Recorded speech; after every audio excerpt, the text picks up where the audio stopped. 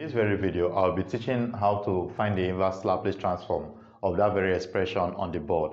The first thing I'm going to do is to resolve this very expression into its partial fraction components.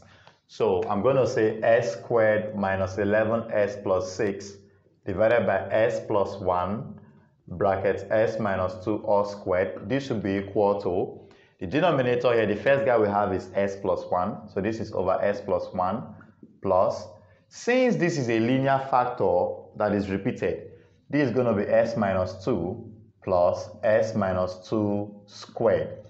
Please, you can watch my videos on partial fraction and subscribe to my channel to learn more about this. So this is what we have. Now the top is A, B, and C. So that's what we're going to be having. A, B, and C. So right about now, let us find the LCM here. We can actually do this thing very fast, but let me just go the slow way. This is s squared minus 11s plus 6 divided by s plus 1 bracket s minus 2 all squared equal to, what is the LCM of everything here? It will become s plus 1 bracket s minus 2 all squared. Now everything here divided by s plus 1. s plus 1 cancels s plus 1. What will be left? s minus 2 squared. Times it with a. So this is a bracket s minus 2 squared. Then plus everything here divided by s minus 2. What will be remaining? s plus 1 s minus 2. Times it by b. So this is b bracket s plus 1 bracket s minus 2. I hope you know why we still have s minus 2 here. Because this is s minus 2 squared. When you divide it with a single s minus 2, we still have one part of it remaining. Then multiply by the s plus 1 and with b. Then plus everything here, divide it with s minus 2 squared. The square we cancel this squared guy, so we have s plus 1 remaining. Times c, this c brackets s plus 1. So that's what I have. Now the next I'm going to do is this. If you look at this expression properly, the denominators are the same. So what does that tell you? The numerators are also going to be the same. So it means s squared minus 11s plus 6 will be equal to a bracket s minus 2 squared plus b bracket s plus 1 bracket s minus 2 plus c bracket s plus 1. So this is what we're going to be having. Now the next I'm going to do here is to what? Equate coefficients. Equate coefficients. Please take note, you need to really know how to do expansion properly. I don't want to start um, expanding everything that we have here. It's going to take a long time, except you would want me to do that. But expanding is very easy. So I'll just expand this thing, just one line. I'm going to expand it with one line. So this is s squared minus 11s plus 6 equal. Now what am I going to have here? s minus 2 all squared is going to give you a bracket s squared minus 4s plus 4. That's how we expand very fast. I'll link up the video on how to open squares at this part. Then plus b bracket, what will we have at this part? This will give you s squared minus s minus 2 when you open this very bracket. Then plus, I can leave this one like this, c bracket s plus 1. Now if you look at this carefully, we're not even done with opening the bracket. So this is s squared minus 11s plus 6 equal a times s squared, so this is as squared minus 4as plus 4a because a would have to open the brackets here, so a will have to times everything plus b times s squared bs squared b times minus s minus bs b times minus 2 minus 2b then plus c times s cs plus c times 1 C. Now, this very thing that I've just done here, you can just do it with your eyes. But I just said, let me what? Let me do it for you. So, first I'm going to do here, first I'm going to do here is, I'm going to equate, equate all the s squares. Oh, okay. Now look at this. I think, let me do something very fast. I don't want to go into simultaneous equations. Let me find my a.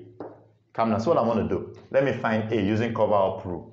Let me find A using cover up so that it will be fast. I don't really have much time. Because if I want to equate all the S squares, I'm going to have, this is AS squared, this is BS squared. I'll be going into a simultaneous equation. I do not have time for that. See, This is s plus 1 with a. So if I'm using cover up rule and I say s plus 1 should be equal to 0, if I say s plus 1 should be equal to 0, what would your s become finally? Minus 1. So if s has to be minus 1, come to this other side. a would then become, anywhere you see s here, put what? Minus 1. So what is minus 1 squared? Minus 1 squared is 1. Minus 11 times minus 1 is what? Plus 11. Then plus what? 6.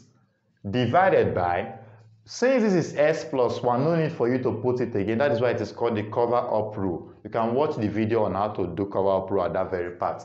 Then s minus 2 squared. We said s is what? Minus 1. So minus 1 minus 2 is what? Minus 3. So this is minus 3 all squared. 1 plus this will give me 12. 12 plus 6 will give me what? 18.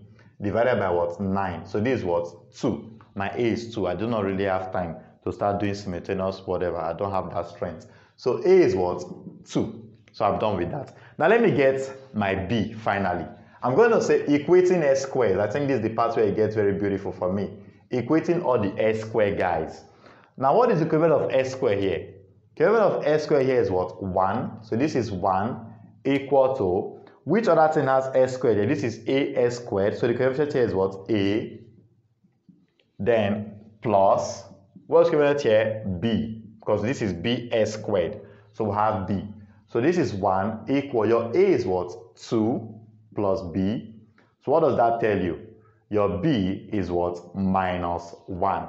Because if 2 comes to this other side, 1 minus 2 is what? Minus 1. So your B is what? Minus 1. And our A is what? 2. Now what's the next thing I'm going to find? C.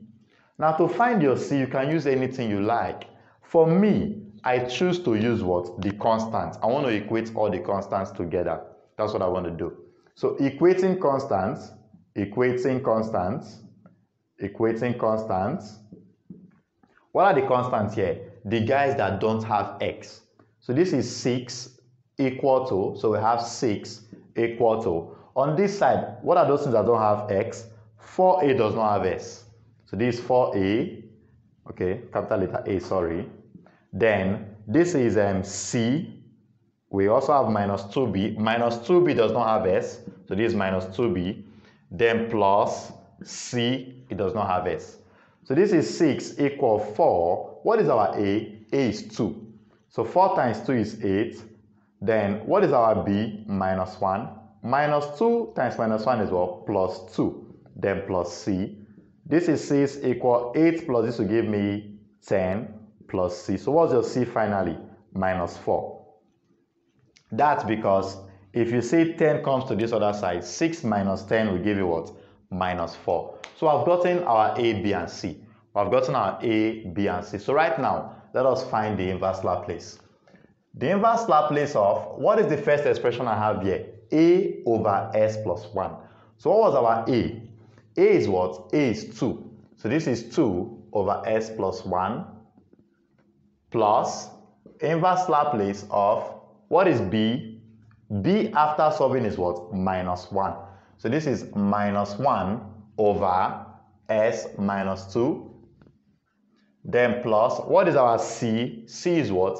Because we have C over S minus 2 squared. So what's our C? C is what? Minus 4 over S minus 2 all to the power of 2. So that's what we have there.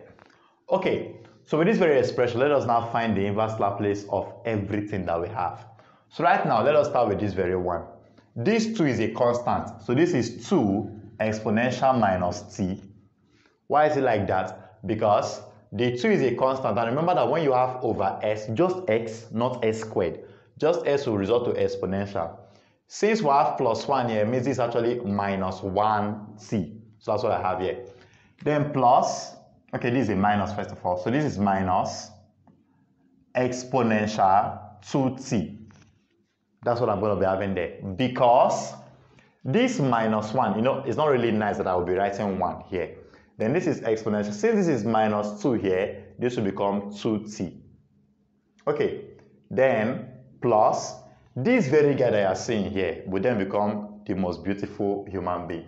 Because this guy means I'm going to be having a t. Remember that when everything with s has a power, that's actually a t that we're talking about. So what is the result of this? This should be giving us minus 2t, then um, exponential 2t.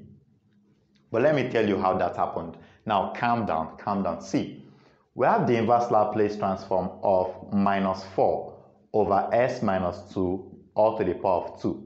Now please remember that the inverse Laplace of um, a number n factorial over s to the power of n plus 1 is always t to the power of n if you can remember. I've done it so you can check this part. I'm going to link up the video over here for you to watch. The inverse Laplace of something like this is equal to what? t to the power of what? n. So to start with, in this very expression, we have what? Minus 4 divided by s. This is n plus 1, but this was 2 here. So ask yourself, what would you add to 1 to get 2? Obviously, this is 1 plus what? 1.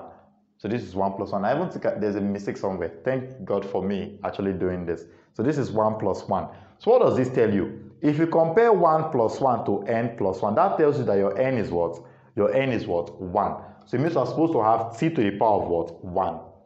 Now, if we have t to the power of 1 here, our n is 1, right? So what is 1 factorial? 1 factorial is still 1. So this is, sorry, sorry about this. This guy, let me say times 1 at this part.